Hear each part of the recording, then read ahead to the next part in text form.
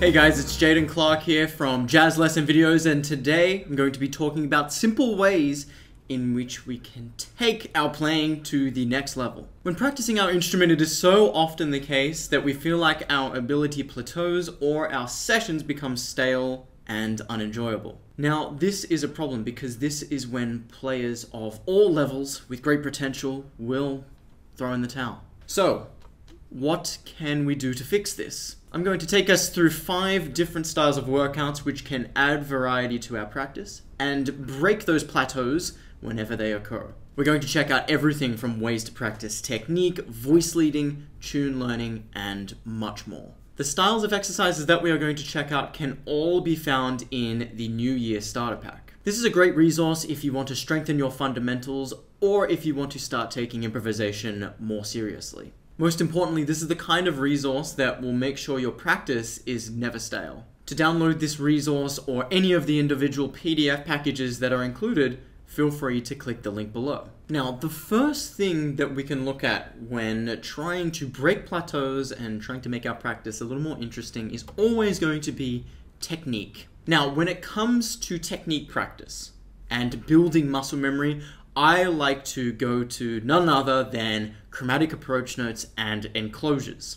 Now, the particular exercise I'm going to show you is one of my all-time favorites, and you can actually find this in the 15 approach note and enclosure workouts for jazz musicians PDF package, and we're going to check it out right now. So, this is enclosure exercise number one.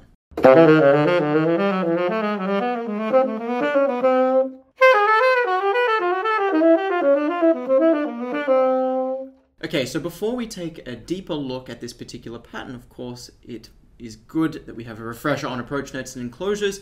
Of course, approach notes approach a target note from either direction, that can be above or below, and enclosures are going to enclose the note or wrap around the note. Often this will be two notes or three notes, and this can be in the case of both approach notes and enclosures.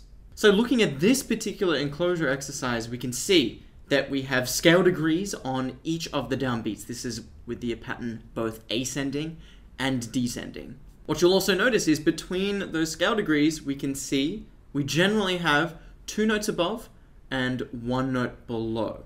This is, of course, on the ascending version. Of course, the only exception is when you have a half step between scale degrees, right? You're then going to put one note above and then two notes below. And vice versa on the way down, we have two notes below the target note, one note above. And notice that that one note above, when we're descending, is going to be a diatonic note. Of course, a lot of the times you could add a chromatic note. For example, in measure two there, you could absolutely make that A in the lead up to beat three. You could make that A an A flat that's going to sound just fine. We just opt for that diatonic note because, well, quite frankly, we think it sounds a little better. Now, of course, the reason this kind of practice is good for us is because it enables us to practice note placement. Of course, we have target notes on downbeats, and that is going to help improve our voice leading. So you can never really go wrong when practicing this kind of technique work. Of course, when we do practice this kind of technique work, it is worth putting in the time to really get this burning through the keys. That way, you're not even going to have to try for this sort of material to come out in your actual improvisation. Okay, so the next style of workouts we're going to check out is going to be phrase work. Now, of course, when we go ahead and practice phrases, it's not only about the memorization of that given phrase, but it is also about the transposition of that given phrase. Now, of course, there's many different types of phrase we can work on. That we can be over a certain harmonic device, be it a major 251, minor 251, a 3625, tritone substitutions. Plenty of different harmonic devices in which you can practice phrases over. But you can also practice diatonic versus chromatic. You can practice phrases with more out sounding chord scale options. Plenty of different ways we can go about this. Now, a phrase that we're going to check out together is going to be a phrase from the 50 Major 251 Phrases PDF package, and this is going to be a diatonic phrase. More specifically, diatonic phrase number seven. So let's take a listen to this phrase now.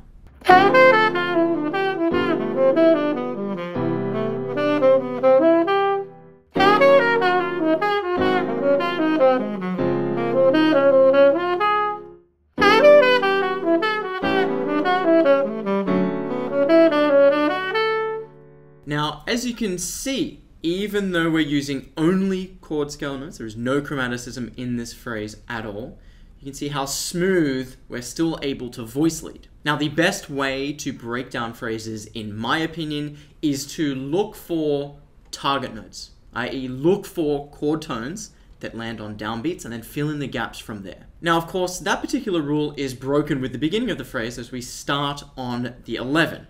In fact, that whole rule is broken in the whole first measure because we also land on the 9 on beat 3. So we have no chord tones on the downbeats in the first measure.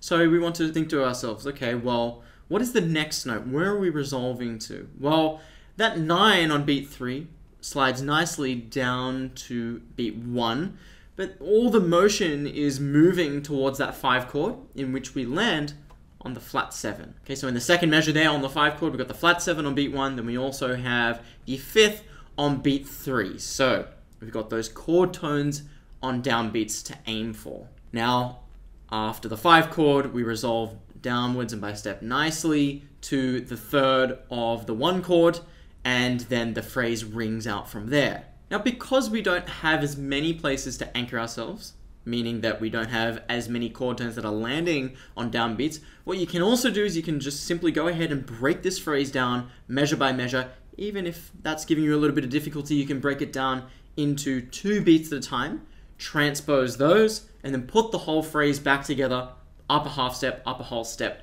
into whatever key you're transposing it into. Now, the great thing in particular about phrase work is, like I mentioned at the beginning of introducing the phrases, you can practice whatever kind of phrase you want. So, if the diatonic phrases are getting a little easy for you, if the major 251 phrases are getting a little easy for you, go ahead and throw in a minor 251. It's going to be some harder transposition to throw in because you have a lot of different chord scales that you could potentially be dealing with. Okay, so the next way that we can change up our practice, the next style of workout, is simply going to be working with a different scale. This is most likely going to be a scale that perhaps we don't find ourselves using that often in our improvisation. So in this particular example, I'm actually just going to take the altered scale. So I'm going to go ahead and play the altered scale, and then I'm going to go ahead and play a scale exercise using that altered scale. Of course, it's a more exotic dominant chord scale option, regularly used in something like a minor 251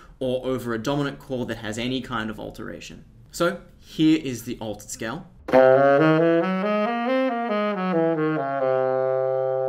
Okay, so quickly taking a look at the altered scale, we've got a our dominant 7, so our 1, a major third, and our flat 7, but we also have our flat 9, our sharp 9, our sharp 11, and our flat 13. So all the different alterations are accounted for with this one particular scale. You can also think of it as the seventh mode of the melodic minor. So I played C altered scale then.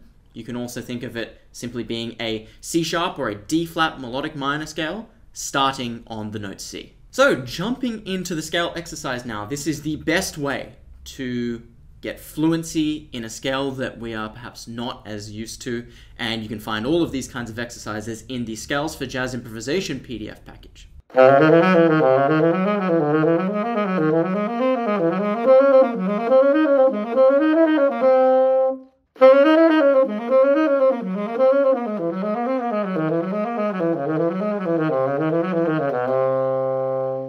going to be choosing scale exercise number four. And what this does, as you can see, it simply moves one, two, three, four, five up the scale. This is when the pattern is ascending. and then it descends down the scale before adding a little skip before moving up and playing that exact same cell again up diatonically through the scale. Of course, on the way down, well, we have to do something a little different to make sure that the voice leading is still good. So we're just going to ascend one, two, three, four up the scale. So this is one note less. Change direction, move down the scale, and then we have that same skip that allows us to voice lead down. Remember that you can find deep dives on all of these exercises that we have covered so far and more in the New Year Starter Pack. And having a resource like this will mean that your practice and playing will have variety no matter what your skill level is. This resource also features tune analysis and voice leading, so let's check some of that out now. Okay, so the next way you can spice up your practice is by simply learning tunes. Now, there's plenty of different ways we can go about learning tunes, and I'm going to go over a couple of my favorite ways now using the standard analysis package to help with our analysis. So here we're looking at the tune All the Things You Are, of course, a very, very common standard. And we can see that on the page, we've got our chord symbols, we've got our chord arpeggios, and we also have the Roman numeral analysis above. Now, of course, you can use any one of these bits of information to help us learn a tune. The good thing about the Roman numeral analysis is that we can always be relating the analysis back to a home key or the key of the one. So that actually makes the analysis key agnostic, meaning that we don't have to be in a particular key in order to break this tune down. Of course, what you can also see in the Roman numeral analysis is when we have key changes. Now, key changes are sometimes going to make the analysis a little easier to read, or they're actual key changes, right? When the tune actually wants to modulate into a different key, just like we have in the C section here. In fact, we can see the key change into the key of concert G just a little bit before that C section, and then it remains for just a little bit. So again, you can just see how it makes that analysis a little easier to understand. Now, of course, how do we go ahead and apply this sort of thing to our instrument? Well, we can use the arpeggios on the page. So here is just some of the tune arpeggios being played, one, three, five, and seven.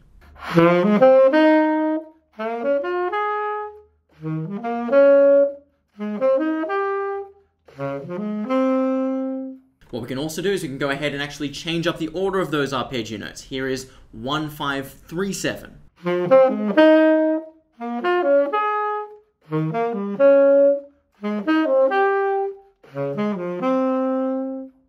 You're feeling comfortable with something like that, you can actually go ahead and change up the arpeggios entirely. So use different combinations of arpeggio patterns.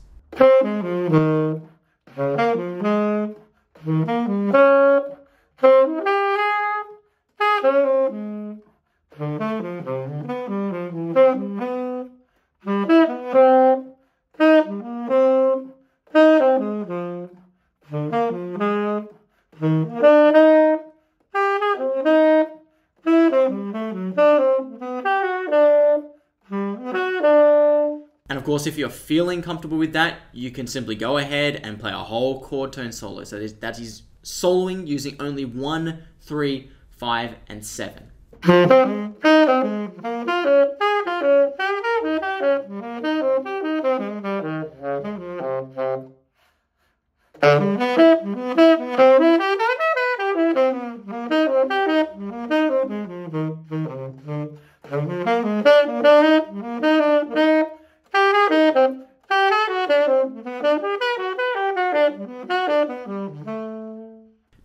What we are doing there is we are simply building a solo from the ground up. So we can get as inside of the harmony as we possibly can because we know that voice leading from chord tone to chord tone is always going to sound melodic.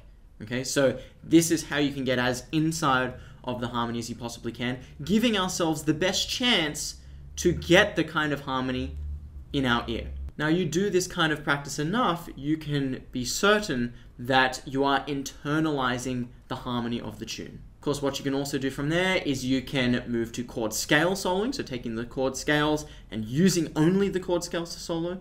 And of course, you can simply just play over the tune. All of these things are going to help contribute to us memorizing the particular tune that we've chosen. Okay, so the fifth and final style of workout we're going to check out is voice leading. And this tends to be one of the trickiest kinds of workouts that we can do, but I think you'll also find it is one of the most useful workouts that you can do. Now, voice leading is a concept that is easy enough to understand. Voice leading is simply getting to chord tones in the smoothest way possible. So that's going to mean we are going to be trying to lead to a chord tone by a half step or a whole step. Now, the big problem for us jazz musicians is actually putting that into practice. Because it's easy enough to understand the concept, but when we are actually improvising, it's easier said than done to put chord tones in the right place and to lead to them in the smoothest way possible. Now, a great resource that can help us fix that is going to be the voice leading workbook. So I'm going to go ahead and practice a tune from that. It's going to be all the things you are. So looking at this particular exercise, what you're going to notice is that we have chord tones on downbeats, and more specifically, we have chord tones on the downbeat wherever there is a chord change. So if there's only one chord in the measure, there's going to be a chord tone on beat one. If we have two chords in a measure, we're going to have a chord tone on beat one and beat three. What you'll also notice is that we have different combinations of ways to voice lead. There's going to be some going to be chromatic enclosures, going to be diatonic enclosures, going to be diatonic approach notes, and chromatic approach notes, all leading by whole step or half step to the chord tone on the downbeat. So because we have the notes there on the page, it is going to be our job to hit those notes on the page regardless of what we do to fill in the gaps. So when it comes to filling in the gaps, we want to see if we can also be as smooth as possible. Ideally, we're going to use eighth notes, but the idea behind using those eighth notes is that no matter where we end up, we could end up an octave away from the notes on the page. We've got to make sure that we still force ourselves to hit the notes on the page. So, enough of me speaking. Have a listen to what I came up with over the first half of the tune.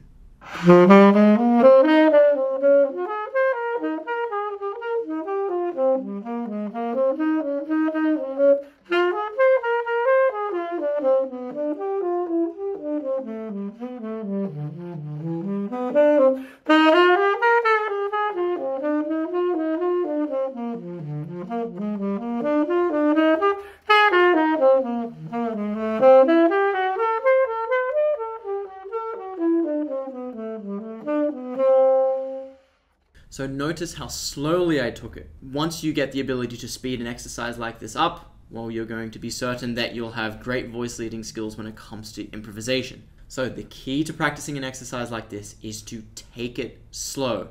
What you're also going to find is that the more you practice a grid like this, a fill-in grid like this, you'll notice that your muscle memory is going to want to take similar routes through the fill-in grid, and that is totally fine. If you find yourself doing that, let it happen because that means you are creating muscle memory that can be utilized in your own improvisation. By incorporating these different styles of exercises into our practice routine, we can more effectively overcome plateaus in our ability and keep our practice sessions interesting. When in doubt, we can always resort back to technique work like adding a new scale or shredding some approach notes and enclosures. We can also look into tune learning, voice leading, and phrase work when we are looking to apply more of that language into our own solos. To dive even deeper into these concepts and much more, be sure to click the link below to download the New Year Starter Pack. Of course, be sure to click the like, the subscribe, and the bell button so you always know when we are releasing new content, new videos, and more. And as always, feel free to let us know if there's anything you would like us to get into next. Thanks for watching, and I'll see you next time.